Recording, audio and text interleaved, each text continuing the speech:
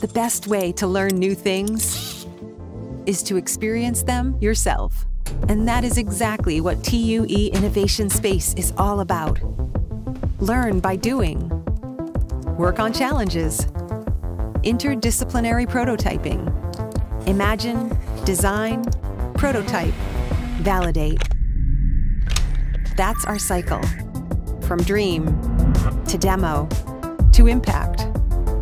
Teams of students work on impressive projects, year in and year out, with new challenges again and again. Join the community. Join TUE Innovation Space.